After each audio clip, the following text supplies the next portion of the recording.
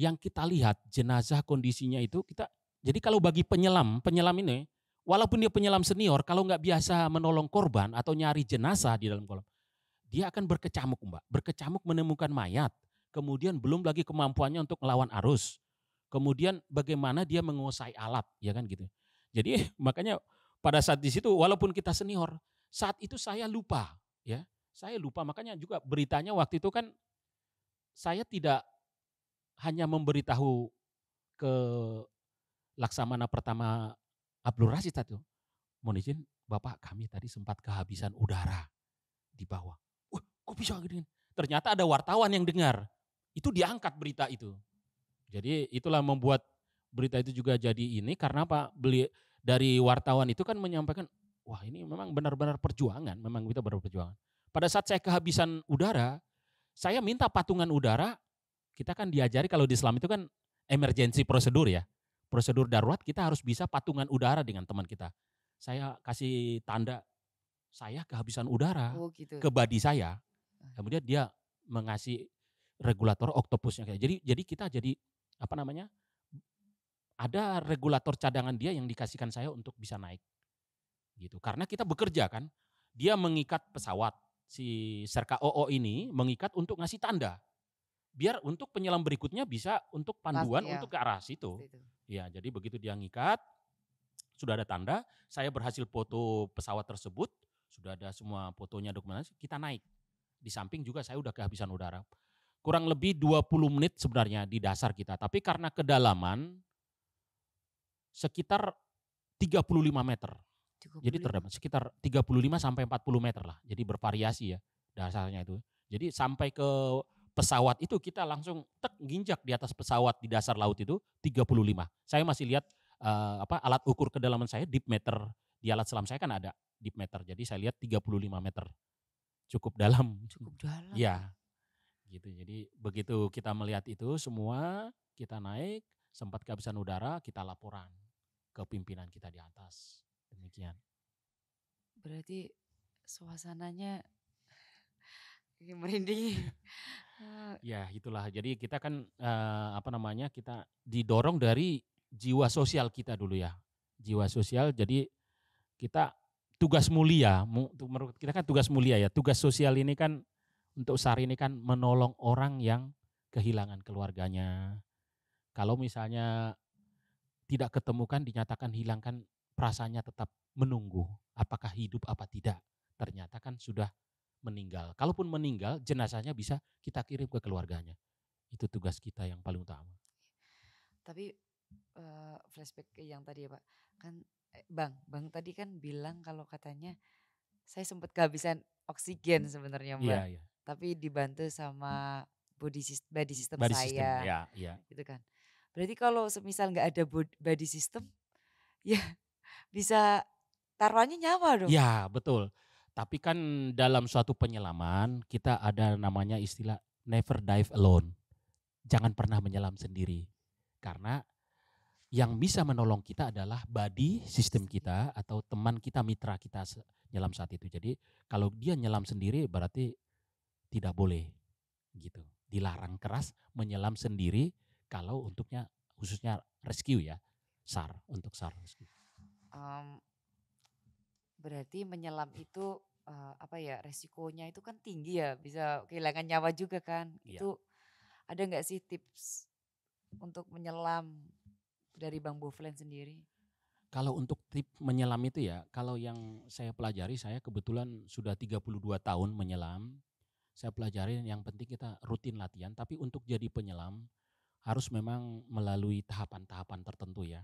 Kami sendiri kan aktif sampai saat ini di PB Posi sebagai instruktur kelas B2.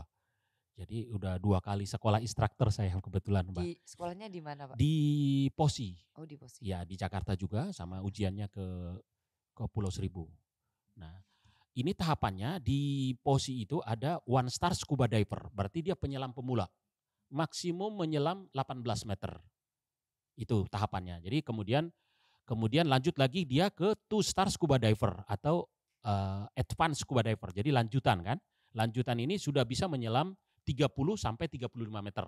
sudah agak senior. Lanjut lagi baru level rescue scuba diver. Rescue scuba diver inilah yang sudah harus bisa dideploy ataupun dikirim untuk sebagai penolong. Penolong. Harus sertifikasi Berarti A3. ada oh ada kualifikasi. Iya, kualifikasinya. Jenjangnya ada.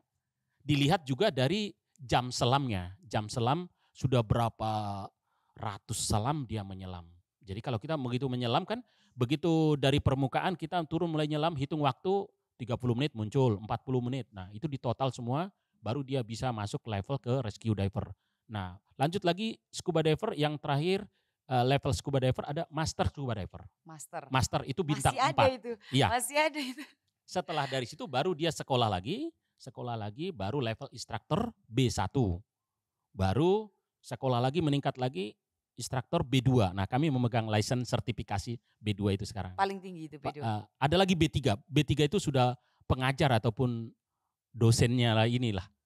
Kalau untuk ininya paling tinggi B3. B3 instruktur. oh B3 gitu. instruktur. Iya. Oh luar biasa. Itu tingkatan Oh, penyelam kalau tingkatannya ya gitu. untuk di. Saya pikir tuh kalau nyelam ya udah nyelam-nyelam gitu aja, Pak. Ternyata Ada ada tingkatan-tingkatannya gitu Iya, ya. iya, Oh, gitu. gitu itu biasanya ini ya ada sekolahnya gitu kan. Ada lewat di klub. Iya. Bang Bovlen nyelam paling dalam berapa meter? saya nyelam paling dalam sebenarnya tidak boleh lewat eh, kalau aturan ini. Aturan di buku itu tidak boleh menyelam lebih dari 43 meter. Itu kan di tabel selam untuk olahraga. Tetapi kita karena kita angkatan laut, kita kan penyelam kerja ataupun mencari korban, itu pernah saya menyelam di Selat Bone ya. Selat Bone 75 meter. Itu 75 meter. ya, itu terdalam yang pernah saya alami. Itu Mm-mm. bukannya kalau saya aja pernah waktu itu nyelam ya, Pak. Itu Iya. ini saya kalau nggak filsafah, eh, falsafah ya? Iya falsafah. Falsafah ini banget sakit banget itu 75 meter emang Iya 75 meter. nggak sakit. Jadi eh, suasananya udah kayak apa huka-huka di bawah ya. Jadi suasana hening banget gitu. Itu saya pernah eh, eh, ngalamin untuk mencari kapal tenggelam, kapal feri yang tenggelam dari Kolaka ke Bone. Waktu itu kapal feri penyeberangan tenggelam bersama penumpang cukup banyak yang hilang di Sulawesi. Sulawesi tahun berapa itu? Tahunnya lupa, Lupa. lagi saya udah Tapi 75 meter. 75 meter. Iya. Kapal Tapi Mas Windu Karsa. KM Windu Karsa, saya masih ingat Windu Karsa itu. 75 Cuman lupa tahun persisnya ya, lupa saya. Itu Berapa menit itu nyelamnya? Tujuh. Nah, itu mulai turun sampai nyelam itu ada kurang lebih tiga jam. Tiga jam. Tiga jam. Nah, persoalannya kan sekarang konsumsi udara bagaimana kan tabung scuba? Kita bawa empat tabung. Empat Beratnya tabung, jadi ya? Yang turun dipakai satu tabung, kemudian naik satu tabung, dua dua tabung kita gendong. Oh gini ya berarti Hmm, sini. jadi ini, jadi tiga jam empat tabung cukup. Cukup. cukup. Kemudian untuk di safety stop ya, kita bukan penyelam yang ngaur juga Hmm. ataupun apa namanya nekat tapi tidak punya perhitungan. Tetap di safety stop atau sebelum muncul ke permukaan kita tetap atur stasiun dekompresi. Ada teorinya sendiri sebelum muncul itu tidak boleh kita langsung naik untuk namanya berhenti di stasiun dekompresi agar nitrogen yang kita larut dalam darah kita tidak menyumbat pembuluh darah. Jadi tidak terjadi namanya penyelam yang lumpuh. Seperti penyelam alam kan banyak yang lumpuh itu. Jadi kita karena udah belajar juga teori bagaimana menghindari penyakit dekompresi kita kita laksanakan. Penyakit dem- dekompresi itu penyakit. Penyakit dekompresi itu adalah penyakit yang dikebatkan karena dia penyelaman yang terlalu dalam dan lama. Oh, bisa. Ya, jadi dia eh, ciri-cirinya itu bisa mengakibatkan kelumpuhan karena apa? Dia akan apa namanya terlalu cepat naik itu yang oh, yang tidak boleh. Nggak boleh Iya, terlalu cepat naik gitu. tidak boleh terlalu naik. Nah kita kan lihat waktu kejadian yang di Karawang pada saat SAR Lion Air yang Lion di Air, Karawang Lion ya, Air Karawang. itu kan yang meninggal satu Itu juga, Bapak ikut meninggal. Juga? ya? Iya, Ya, iya. saya, oh. saya terlibat. oh, iya. Jadi iya. saya kan bilangin tiga kali tiga pesawat, kali tiga kali pesawat, juga tiga kali terlibat. juga. Itu meninggal. Setelah saya lihat dia muncul dari kedalaman 29 meter saat itu yang di Karawang muncul secara cepat karena dia kehabisan udara di bawah muncul cepat yang terjadi adalah emboli udara penyakit penyelaman emboli udara pecahnya alveoli darah sehingga dia tidak tertolong ini udah keluar darah semua dari mulut maupun dari hidung resikonya cukup tinggi kalau dia tidak memperhatikan penyelaman itu harus benar-benar tahu tip and triknya itu ya. Iya. Tips itu. and triknya itu. Minum dulu deh, Bang terima Kayaknya kasih. ah, Terima kasih, terima kayaknya kasih. emosinya itu masih getar kerasa getaran-getaran musibahnya Iya. Air Asia itu. Dan Bang Boblen itu eh, di SAR musibah jatuhnya pesawat Air Asia QZ 8501 itu kan juga dapat kenaikan pangkat luar biasa ya waktu itu ya. Betul, betul, betul. Gara-gara nemu black box itu langsung dapat Ketemu pesawat tersebut langsung diajukan oleh eh, tertua SAR waktu itu di kapal Banda Aceh. Kalau tidak salah waktu itu Bapak Kasal sekarang itu Laksamana, TNI Laksamana TNI Muhammad Ali. Muhammad Ali itu Asop Armada atau apa waktu itu beliau minta NRP-mu Langsung gitu ke saya minta NRP-mu saya ajukan untuk KPLB saya kirim NRP saya kira saya tadi tidak kita tidak berharap bahwa kita mendapat Iya, penghargaan tertentu karena kita murni untuk eh, kemanusiaan. kemanusiaan. Beliau minta kirim NRP-mu pangkat NRP ke saya. Saya ajukan untuk ini. Saya hanya me- memberi tapi tidak terlalu kita ah masa sih mungkin gitu ya? Akhirnya diajukan sama beliau Bapak Kasal yang sekarang ini ngajukan sampai ke Panglima TNI sampai akhirnya turun Panglima TNI saat itu disematkan langsung pangkat. Waktu saya serma Serma. sersan mayor. Habis itu dilantik dicari pangkat Pelda di KRI langsung dilantik Pelda Marinir Langsung saat itu juga. ya waktu itu saya pangkat mayor masih dua bulan Masih dong. sersan mayor sersan mayor dua baru bulan bulan dua bulan langsung dilantik di situ karena pesawat tersebut ditemukan ya cukup berhasil dilantik langsung sama Panglima TNI Jenderal TNI Dr. Muldoko dilantik jadi Pelda Marinir Balda Marinir Iya. luar biasa. Waktu itu Bapak Kasal pangkatnya masih apa ya? Kolonel ya Pak? Waktu itu Bapak Kasal itu masih kolonel Masih kolonel. Iya, masih kolonel Kira-kira Bapak masih ingat gak ya sama Bapak? Kayaknya masih ingat. masih ingat Bapak Kasal waktu itu kami ketemu di waktu saat pembaretan yang apa namanya ketua DPR Oh, yang MPR yang itu itu. kemarin itu ketemu Iya, di iya. kapal Hah? Mohon izin Bapak, Bapak Kasal terima kasih untuk pengusulannya KPLB. Beliau, oh kamu ya penyelam kemarin itu yang saya tunggu-tungguin di atas satu jam kamu di bawah, saya khawatir di bawah. Ditanyain sama Panglima TNI, mana penyelammu kok nggak naik-naik katanya. Siap Bapak, itu kami saya bilang gitu. Masih ingat ya Pak? Berarti masih. Termasuk Bapak Atspotmar sekarang, eh, Mayor Jenderal Nur Alamsah juga beliaunya ikut Satgas waktu itu. Oh ikut saja. Iya, ikut Satgas waktu itu. Jadi bareng sama beliaunya. Eh, memori Siap. memorinya masih terasa ya Pak? Masih ingat. Merindingnya pun masih sampai sekarang gitu ya. Iya, betul, betul. Dan belum lama ini katanya Bapak juga ikut diktu pakat nih. Iya.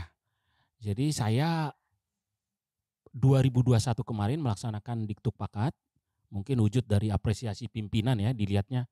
Ini saya udah dua bulan MPP. Saya kan ngajukan MPP. Ternyata diperintahkan untuk kamu berangkat sekolah. Termasuk dari Komandan Korps Marinir sekarang, Mayor Jenderal Widodo. Kamu berangkat sekolah. Wah harus berangkat sekolah ini. Kami dengan senang hati melaksanakan untuk perintah sekolah itu karena diktuk pakat pertama dan sekolah kan hanya tiga bulan oh ya penyesuaian aja lah mungkin kan Iya. berangkat juga akhirnya sekarang ya puji Tuhan dilantik jadi letnan dua Letnan Gitu. juga nih. amin Amin. Berarti Iya. memang perhatian dari TNI Angkatan Laut itu tuh sangat-sangat nyata ya Pak adanya. betul betul apresiasi dari Ternyata cukup dimonitor Iya. terus ini. Ini ini iya penyelam dimonitor gila dulu nih. penyelam gila satu ini dulu ini harus Lagi. harus berangkat sekolah lagi persekolah lagi nih, jangan sampai eh, lepas-lepas ini. jangan langsung pensiun katanya iya, gak dibolehin lah sama angkatan laut. betul betul Mak. iya Iya, iya, iya. iya. Pendidikannya kan keras. Kenapa tertarik masuk itu?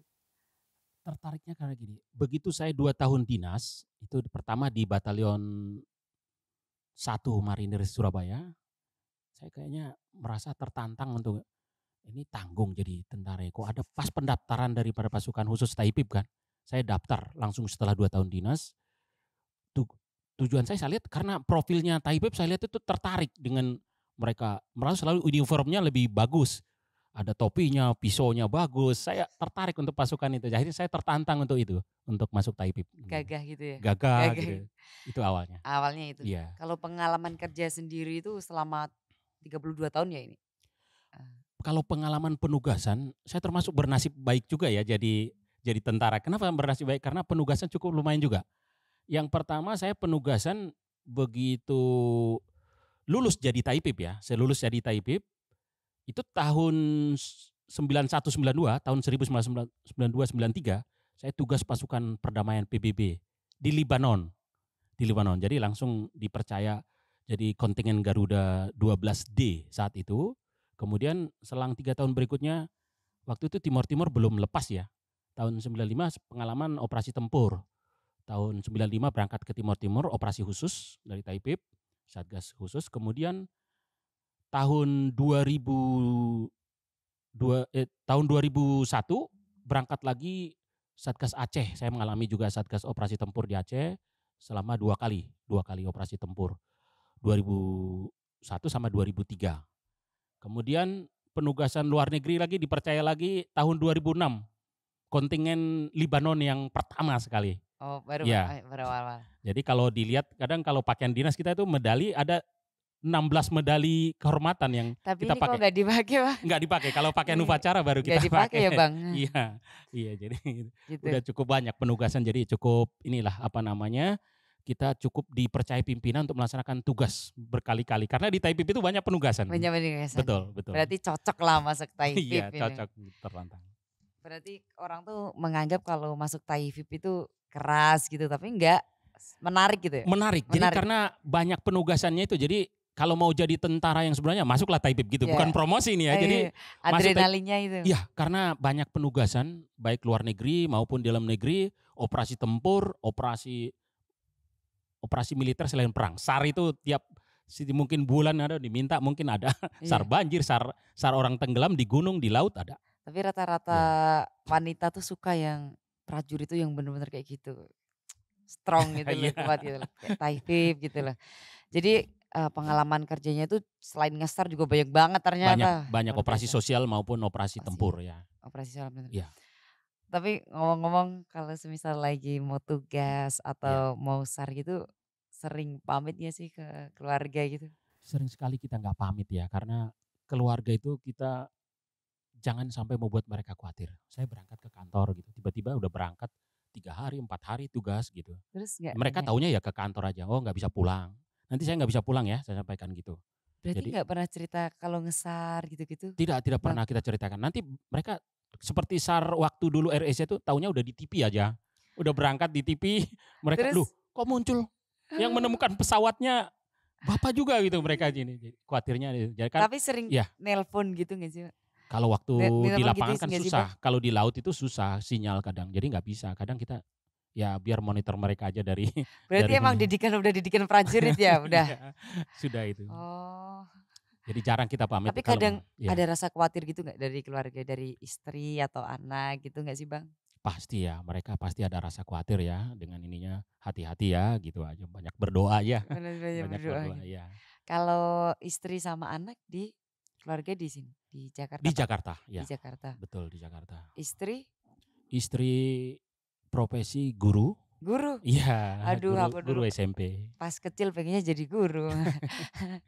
Iya. oh terus eh, anak Anak eh, saat ini sudah anak yang pertama laki-laki sudah lulus jadi dokter. dokter Iya, dari Universitas Indonesia, Fakultas Kedokteran Indonesia. Un- UI Iya, UI. Iya. Anak kedua juga perempuan di UI juga. UI juga Dua-duanya, dua-duanya luar di UI. biasa Iya, ini dua-duanya di memang tentara. Anak yang kedua nanti akan Panutan. wisuda bulan Juni ini, wisuda.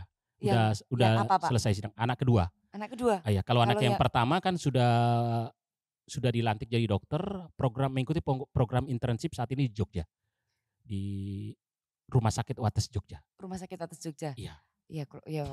Eh, wah luar biasa re, re. anaknya tentara. Bapak ini sangat luar biasa loh mendidik anaknya bisa sampai jadi dokter terus dua-duanya di UI itu menurut Iya, saya itu sangat-sangat orang tua yang berarti berjuang banget Pak. Apalagi kan Bapak dulu tergolong dari anggota nih dari Ya, saya dari Tamtama. dari Tam- Oh, dari Tamtama? Iya, dari Dikcatem 71. 71 tahun 88 89. Jadi saya benar-benar dari Prada, Pratu, Praka, Serda. Mulai dari pangkat udah banyak banget keren pangkat. banget, keren Iya, banget. dari Ini bisa di Prajurit paling bawah. ya bisa dipakai buat contoh buat orang-orang tua di luar sana ini loh. bapaknya tentara dari Tamtama tapi anaknya dua-duanya di UI yang satu kedokteran yang satu, Satu jadi kuliah di IT, IT. komputer Keren ya. banget Pak. Ini bisa jadi teladan-teladan buat orang-orang tua Pak. Semoga orang-orang tua nanti menonton podcast ini ya. Amin. Eh, Pak, saya jadi tertarik ini Pak kalau masalah mendidik anak itu Pak. Eh, didiknya gimana Pak itu bisa dua-duanya bisa masuk UI. Padahal Bapak ini apa itu Bapak sibuk ngesar, sibuk ke sana lah, ke sini, ke luar negeri lah, sibuk tugas. Terus Ibu juga guru gitu. Tips and trick ngedidik anak Kalau gimana sih Pak? triknya barangkali gini ya. Karena mungkin kombinasi antara tenaga pendidik dengan disiplin yang ini yang terjadi ya. Jadi anak saya tuh bagian disiplinnya saya. Masalah dia pulang tepat waktu, belajar. Kalau ilmunya barangkali dari istri ya. Istri. Istri yang mendidik dia untuk bagaimana belajar dengan bagus. Kemudian mungkin eh, ilmunya dari istri banyakkan karena saya kan waktu untuk dinas banyak ya. Tapi begitu saya kontrol juga dia jam belajar atau apa kebetulan kan anak ini memang anak saya itu kebetulan apa begitu dites itu IQ-nya cukup super gitu karena dua tahun dia di SMP apa akselerasi Oh, eh, akselerasi dua-duanya jadi hanya menyelesaikan di bangku SMP hanya dua tahun dua-duanya jadi eh, kalau dites dua-duanya. ya dicek dulu psikonya itu kan Aduh. harus lulus harus super gitu. Jadi dari kita dari didikannya dari angkatan laut TNI angkatan laut kita terapkan ke anak harus disiplin gini harus jadi orang harus gini, gini. Oh iya gitu ya, harus Iya, jadi orang tapi ya. bukan Kalau- berarti kita kaku gitu Iya. kan Tet- tetap juga hiburan rekreasi kebetulan juga anak juga suka seni Oh, seni. ya jadi kita harus balance lah antara didikan kemudian juga apa namanya otak kecilnya juga harus jalan ya ilmu seni itu Tapi Bapak keren Jadi- banget tau. Dari tahun-tahun anaknya bisa Excel. Habis itu Mm, kuliah kedokteran sama kuliah IT itu. Sumpah amin, keren amin. banget Pak. Keren, keren Bapak. Keren luar biasa. Em, Oke nih Pak, terakhir, terakhir nih Iya, Pak. iya. Kayaknya tapi emosinya itu masih kerasa ini. eh Sar-sar Air Asia, tapi saya juga jujur mulai sekarang saya fansnya Bapak deh. Terima Eh, kasih. Harapannya apa Pak? Harapan ke depannya itu? Ya kalau bisa saya menyarankan ini ya untuk generasi muda sekarang kan sudah banyak kita dengan sistem IT sekarang jadi jangan terlena kita dengan menggunakan handphone segala macam tapi mari kita isi ilmu dengan eh, banyak ilmu yang di angkatan laut ya selam terjun apalagi kalau itu kan. Jadi saya eh, dibidangin lah salah satu kita yang kita minatin sehingga bisa lebih menonjol. Jadi kita isi dengan yang hal-hal yang bermanfaat khususnya yang masalah keterampilan. Saya sebagai prajurit angkatan laut dari dulu saya harus menguasai satu media. Jadi begitu kita kuasai satu media, kita harus harus lebih menonjol dan kita minatin sehingga kita akan ada hasil yang kita dapatkan dari hasil yang kita minati tersebut dengan full ya. Jadi jangan kita setengah-setengah meminati sesuatu sehingga kita akan ada hasil yang maksimal. Abang ini kan sebagai prajurit nih, pra- salah satu prajurit terbaik yang dimiliki oleh Taifib. Nah, harapan ke depan Abang tuh gimana? Harapannya ya, yang pertama mungkin saya mengucapkan terima kasih ya di akhir daripada cerita saya ini saya mengucapkan terima kasih pada Panglima TNI yang waktu itu eh, Bapak Kasal ya, Bapak Kasal yang sudah Panglima TNI saat ini, ucap terima kasih karena jasa beliau saya bisa jadi perwira sekarang. Kemudian ucapan terima kasih yang kedua kepada Bapak Kasal saat ini karena Sa- Satgas Air Asia bareng sama beliau, sama Bapak Kasal. Kemudian yang ketiga sama Bapak Dan Kormar yang sudah memberi kepercayaan kepada saya untuk sekolah sehingga saya bisa lanjut untuk eh, mengabdi di perwira untuk melanjutkan pengabdian di TNI Angkatan Laut. Eh, dan pesan saya mungkin kepada generasi muda sekarang, mari kita isi eh, pengabdian kita dengan yang ber- bermanfaat dan keterampilan-keterampilan yang banyak dibutuhkan di negara. Kalau yang mau menyelam ataupun keterampilan menyelam, monggo mari hubungin saya. Oke. Kita, kita, saya bisa memberikan trik untuk jadi penyelam yang baik dan benar. Sangat luar biasa. Terima kasih, terima kasih. Saya tuh seneng Bang Bovlen kalau setiap podcast ketemu orang saya tuh pasti dapat energi di dalam situnya dan ketemu Bang Bovlen ini mm, saya mendapatkan energi yang sangat luar biasa. Semoga nanti eh, netizen netizen sekalian bisa mendapat energi yang positif dari podcast saya bersama dengan penyelam gila ini. Ini merupakan eh apa ya mm, inspirasi bagi banyak orang, bagi prajurit Bang Bovlin ini membuktikan bahwa setiap prajurit kita nggak perlu seperti lagunya siapa itu yang Peduli Perwira Bintara atau Tamtama tetap tentara. Jadi kita nggak usah mikir kita dari golongan apa kita bisa membuktikan kita dari golongan apa pun kita semuanya tetap tentara dan kita tetap bisa berprestasi. Semoga di podcast kali ini bermanfaat bagi netizen setiap penonton Nevel Antol Story. Go, go, go! Marinir! Awah, awah, awah, yes! Jelas Eva! Jaya Mahe! Terima kasih dan sampai jumpa.